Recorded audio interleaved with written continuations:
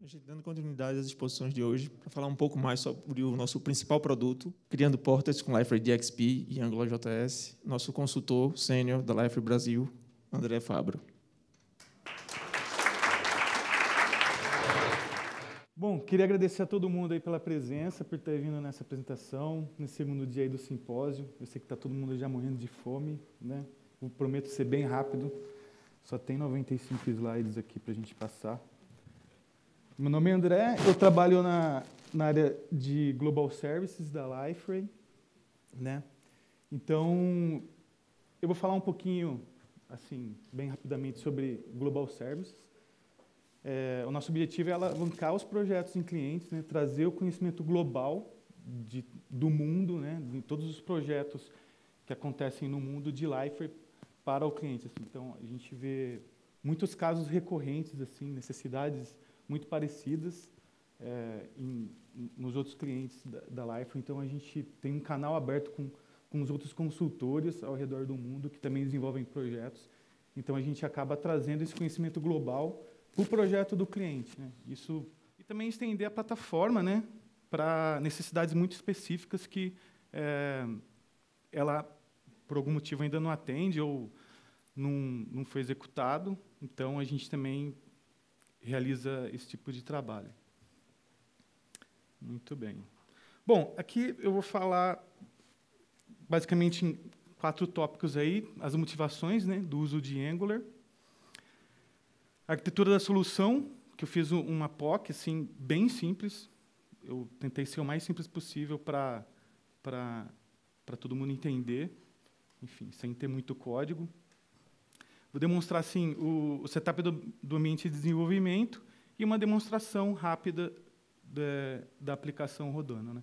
O objetivo é trazer assim, é, a minha experiência é, na construção do ambiente de desenvolvimento, como o desenvolvedor ser produtivo né, para para é, desenvolver o portlet com Angular sem é, necessidade de ficar redeployando toda hora o portlet, é, você fazer as alterações e rapidamente já ver a atualização no seu portal, enfim, esse tipo de, de facilidade que veio no DXP e que assim essa arquitetura de, de containers do SDI te, te permite fazer isso, né? Muito fácil. Então vocês vão ver que de uma certa forma, ficou até mais fácil do que desenvolver para o 6.2.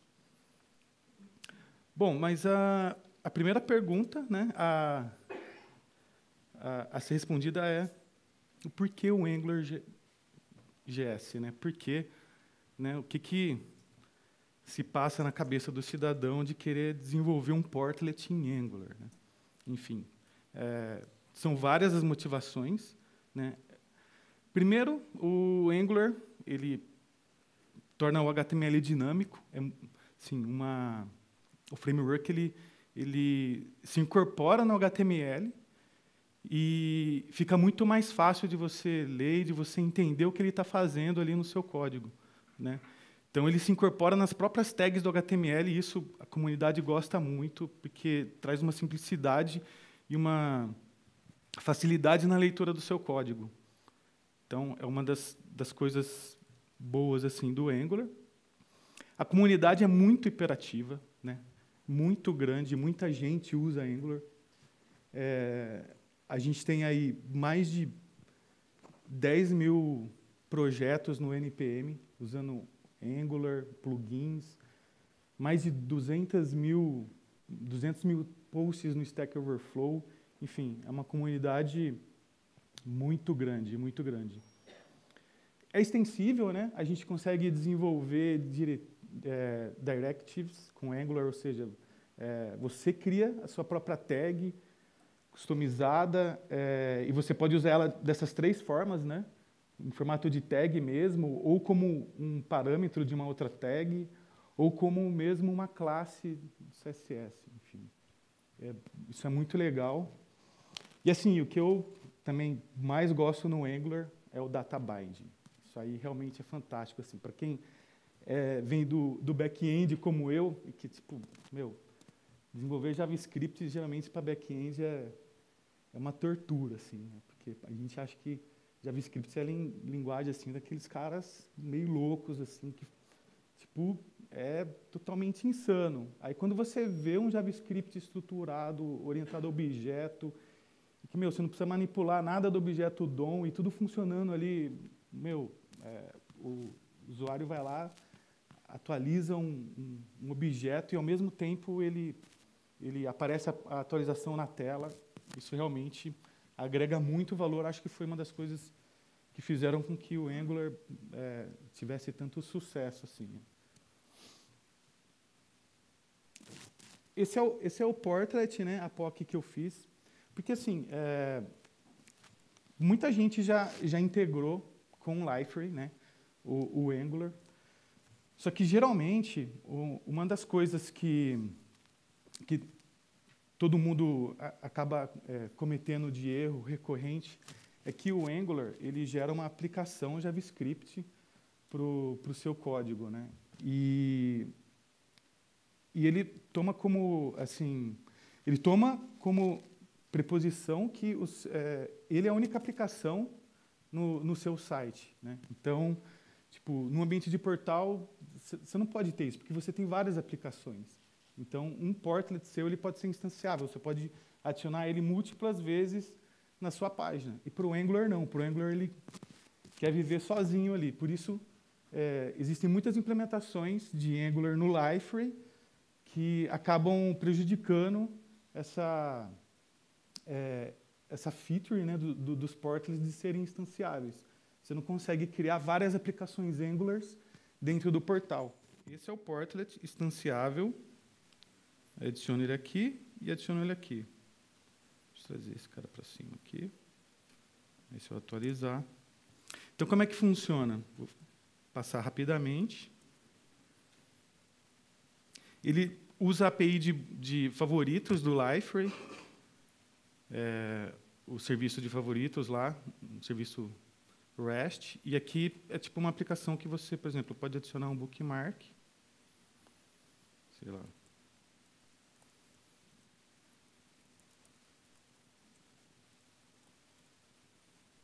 E ele já, ele, ele também valida, né, por exemplo, automaticamente, ó, ele tem que ter no mínimo três caracteres.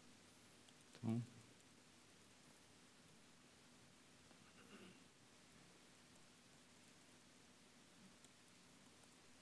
É ponto .io o deploy? É isso, né? Ah, ponto .com? Beleza. Então, ó, por exemplo, quando eu gravar esse favorito, ele automaticamente ó, notificou o outro, a outra instância de Angular na minha página e apareceu o resultado aqui também. Então, é, essa é, é, a parte da listagem né, do, do, favorito, você pode editar, excluir, enfim, é um crudezinho.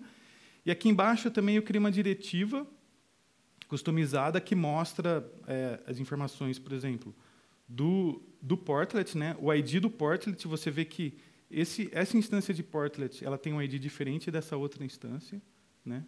É, e aí a versão, a release do, do portal, o token de autenticação e o ID da, da company, por exemplo. Então, essa é aplicação muito simples, né? Tem o, o info aqui é o edit, né? Posso atualizar, cancelar ou remover, né? Você vê que ele notifica o outro portlet também. E essa notificação a gente faz usando a própria API JavaScript do Lifer, nativa. Que vou mostrar para vocês aqui. Tentar ser rápido. Né?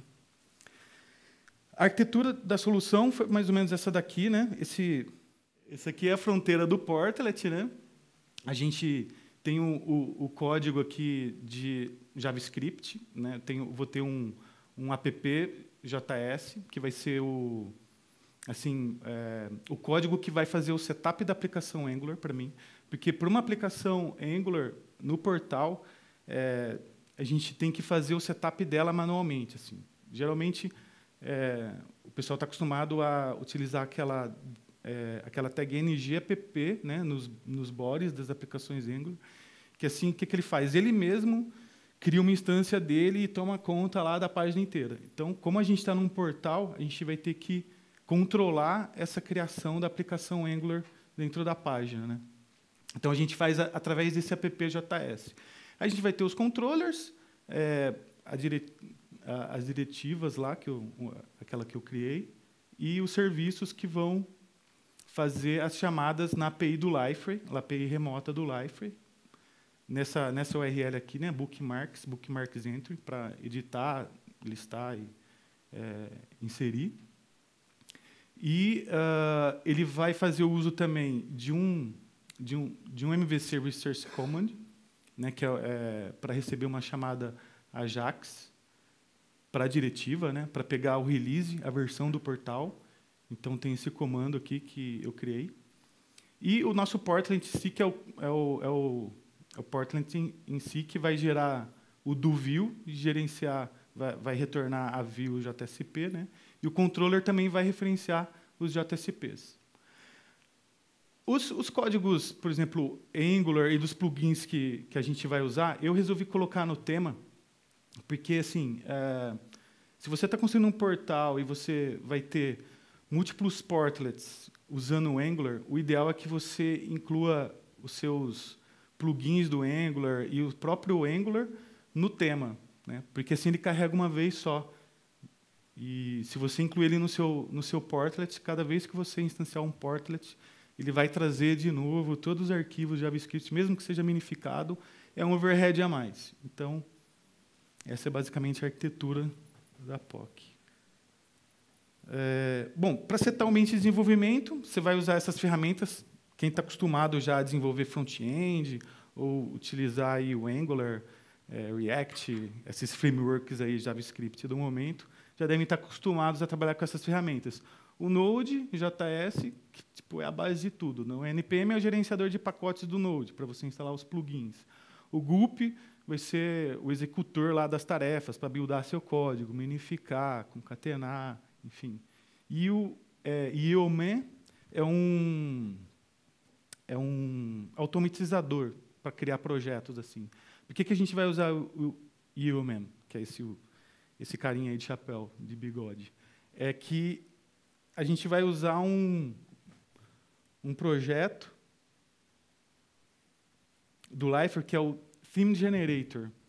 É um projeto que está no GitHub e ele gera um tema para você, é, um projeto né, de, é, de Gulp, já com NPM, com tudo, com é, estendendo o, o do Liferay para você começar a desenvolver seu tema. E ele é um projeto Gulp já. Mas antes, a primeira coisa que você tem que fazer é o, start, o setup de um Lifer, uma instância do Lifer, né? com as propriedades de desenvolvimento. Não sei se aqui todos conhecem, né? Você tem lá no, no código-fonte do Lifer um portal dev.property, se não me engano. E aí ele tem as propriedades de desenvolvimento que você adiciona lá para facilitar quando você atualizar um CSS, atualizar um JavaScript, ele é, automaticamente pegar as atualizações na hora e desconsiderar os caches aí para um ambiente de desenvolvimento, né? Isso é totalmente desaconselhável é, deixar essas configurações no ambiente de produção. Então a gente vai usaria o, o theme generator, né, para gerar o tema. É só executar aquele comando aqui io lifer theme depois de ter instalado tudo. Aí o que, que ele vai fazer? Ele vai fazer algumas perguntas para você fazer o setup do projeto e vai gerar o projeto para você. Um projeto do tema para o Lifer 7 já. Você pode escolher também para o Lifer 6.2. É muito legal, essa ferramenta facilita muito a vida. Então, ele já gera mais ou menos ali uma, uma estrutura de projeto. Né? Tudo que é do seu tema, agora você coloca na pasta SRC, não tem mais... É, é diferente né, do, do SDK, que você tem que ir na pasta diff, e aí ele faz o merge. Não, aqui é totalmente diferente. Ele joga tudo mesmo no seu CSS, é, no, no seu SRC. E a gente tem o gulp file tal. Esse é o arquivinho que ele cria também, lifertheme.json, que são configurações específicas para o ambiente do Lifer, e o package.json para o seu NPM. Uh, ah, depois de você ter instalado o tema, você vai instalar também, dar um npm install Angular, que é o, o core do Angular, né? O Angular UI Router, que é assim, o esquema de rotas do, do Angular, para que, na verdade, controla os estados das, das páginas, e o, esse Angular Auto Validate, que são dois plugins do Angular, para um que vai auxiliar no estado da sua página, né, onde você está, você está na lista, você está na edição, você está na inclusão do, do bookmark lá. E o outro é, é para fazer uma validação automática, é um plugin super bom também, assim, tipo, ele já valida quase tudo para você. Você coloca qualquer regra ali, ele já vai ele já vai validar. E aí você dá um menos menos save para ele gravar aqui no seu packet.json e o seu projeto ficar é, portável assim para tipo, sei lá, você vai compartilhar com os desenvolvedores, o cara vai lá, só dá um npm install e já instala todos esses plugins para você automaticamente. Bom, e o, o Theme Generator, ele, ele usa esse, esse outro plugin também, que está no, no, no, GitHub lá, que é o Theme Tasks. Né? E, e assim, ele, esse Theme Tasks ele vai gerar o build do seu tema, e o legal é que você pode usar um hook para rodar as suas próprias tarefas antes da compilação, depois da compilação, ou sobrescrever a compilação base. Isso é bem legal porque você customiza o seu build do seu tema. Então, por exemplo, para esse projeto, né, a customização que foi feita aqui, ó, por exemplo, é, foi pegar os, os, os arquivos JavaScript do Angular, que são instalados nesse Node Models, né, essa linha, quem está do outro lado aí não está vendo o pontinho das linhas 14 a 18. E, por exemplo, uh, pega aqui o, o, a biblioteca do router e do validate e copia essas bibliotecas para a pasta build, aonde depois a compilação default vai pegar essa build e vai jogar lá, no, vai incluir no tema e vai ser carregado junto com todo, todos os outros JavaScripts. Outra coisa que eu estou fazendo também aqui, é, nesse final, é copiando os arquivos de idiomas do AutoValidate, que também é distribuído lá quando você baixa e instala o plugin. Essa linha aqui é um erro, tá? Vocês desconsideram ela, essa 21, 22, 23. É, ah, do lado, o lifertheme.json ali é, um exemplo, é o exemplo do arquivo de configuração do, do tema Lifer mesmo, bem específico, que você coloca o, o caminho do seu ambiente né, que você está desenvolvendo, da sua instância do Lifer, para ele já fazer o deploy diretamente na sua instância. Então, você vai lá, você vai dar um gulp build, ele vai buildar a sua aplicação. Depois você dá um gulp deploy, ele já vai jogar na sua instância do Lifer, já vai instalar e vai fazer tudo para você ali. Assim, tem mais uma modificação no, no tema, que você vai pegar o portal normal, é, .ftl lá, que é o, o template né, da, do, do portal, e incluir as referências aos JavaScripts, né, do Angular, do Router e do Validate aqui. Ele também ah, só um detalhe, você tem que fazer isso para essa versão do DXP, você tem que fazer antes de chamar o, o top head include aqui. Isso é importante, porque senão não funciona bem. Então aí você pode dar um gulp deploy ou um gulp watch. O gulp watch é bem legal porque ele fica escutando todas as modificações que você que você realiza ali no tema quando, quando você está construindo um CSS, um JavaScript e cada modificação ele já recompila e deploya no, no portal, atualiza lá o, o container SDI, então você já vê as alterações na hora, é muito produtivo. É bem legal esse Goop Watch aí. Bom, e aí, pra, é, depois que você fez o setup do tema, fez o deploy do seu tema, você vai começar a desenvolver o seu portlet. Aí o seu portlet, para você desenvolver, você vai instalar esse Blade CLI, que é um cliente é, para ajudar, é, é uma, uma ferramenta de comando para te ajudar a fazer é, o deploy no, na sua instância do Life. Né? Mas para instalar ele, você tem que instalar também esse JPM4j aqui, que é um gerenciador de pacotes Java. Então você instala ele e aí o Blade você instala através do JPM.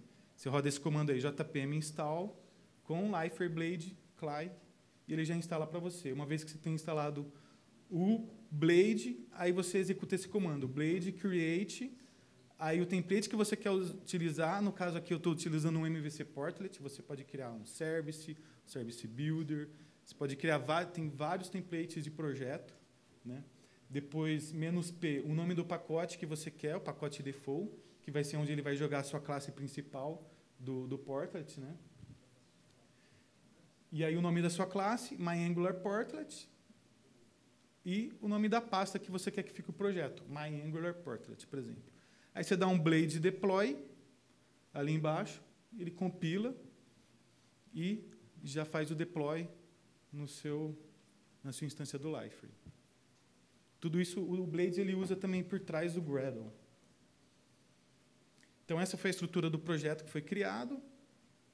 Tem o Vue.jsp ali, o build do Gradle. Você pode ir brincando e manipulando as propriedades para poder descobrir um pouco mais. Esse é o portlet que default e a modificação que você tem que incluir no portlet é, é importante você colocar o nome do portlet, né, é, para referenciar ele depois no MVC command que eu vou mostrar. E é, mas o que é importante mesmo são essas duas propriedades, que é instanceable true, para ele poder ser instanciado várias vezes numa mesma página. E qual que é o caminho do JavaScript que esse portlet vai, vai carregar. No caso, ele vai carregar o JS main.js. E esse main.js ele tem que estar, de acordo com a nova estrutura, nessa pasta resources. Tem que estar dentro dessa pasta resources aqui, ó, search main resources, metainf, metainf resources. Aí eu vou ter pasta em mg, js. Então, geralmente a gente coloca aqui, mas tem que estar dentro dessa estrutura para o portlet poder pegar, de acordo com nova, é, essa nova versão do DXP aí. Bom, mas como que a gente vai criar esse main.js? Primeiro a gente cria uma, uma, uma aplicação Angular, que pode ser na raiz do projeto mesmo. Para esse projeto aí, eu criei uma pasta app, aí a pasta de controller, que eu adicionei os controllers de adicionar, de verificar os detalhes, né, de carregar e de listar todos os, os favoritos. A pastinha com a diretiva, né, que é essa Lifer Directive, para carregar a versão tal. E a pasta onde vão estar os serviços, né, na verdade, as fábricas de serviço aqui, que é o Bookmark, Bookmark Factory, o Release Factory e o URL Factory. Vão estar dentro da pasta de release.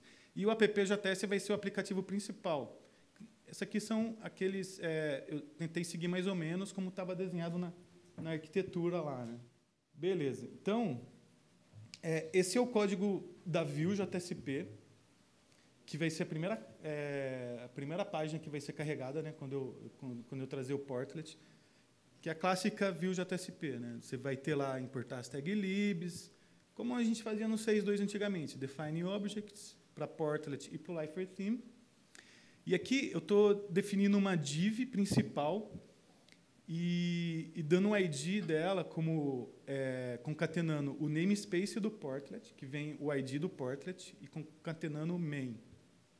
Esse é o pulo do gato, porque esse é o que faz diferenciar a minha div para cada portlet, para cada instância de portlet dentro do meu portal. Então, é, é esse, é, esse é o diferencial que faz com que eu tenha várias aplicações Angular JavaScript rodando no meu portal. É usar o portlet namespace como identificador da div onde eu quero renderizar. E o que, que eu estou fazendo aqui no, no final? Né? Não sei se vocês estão conseguindo ler aí o AUI script. É justamente chamando uma, uma função bootstrap, que eu vou mostrar daqui a pouco, que é realmente a função para você configurar a sua aplicação Angular enviando, e aqui eu estou enviando o ID do portlet, e estou enviando também o namespace do portlet para ele fazer o setup de um, uma aplicação Angular para aquele portlet, para aquela instância. Deixa eu correr que meu tempo está acabando aqui, negada. Esse aqui, por exemplo, é a função bootstrap, né? e eu já estou injetando é, aí o router, as factories, é, os controllers, as diretivas, o plugin de validação, então, por exemplo, estou definindo alguns objetos padrões aqui. É, no app run, no config também definindo o state provider, né, para que o, o, o, plugin de router vai usar para definir qual que é a, a view, qual que é o controller, né, e o template da view para aquela para aquele estado, por exemplo, quando estiver no estado list, quando estiver no estado detail, quando estiver no estado edge, eu não vou entrar muito no detalhe dessas coisas, porque. Ah, sim, ó, só esse finalzinho, que é a chamada. Não sei se vocês conseguem ver. Quem puder olhar no monitor, esse é onde está circulado de vermelho. É a função do Angular para fazer o bootstrap dele. Então, a gente está criando manualmente, não deixando o Angular tomar o controle da nossa página.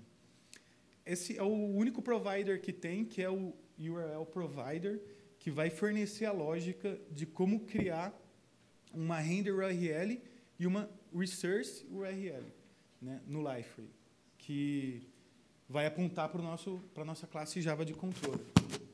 Então, aqui, ó, se vocês forem ver, a gente está usando a própria, é, na linha 9, a gente, para criar a render URL, a gente está usando a própria é, library de JavaScript do Lifer, né? lifer.portletURL create render URL.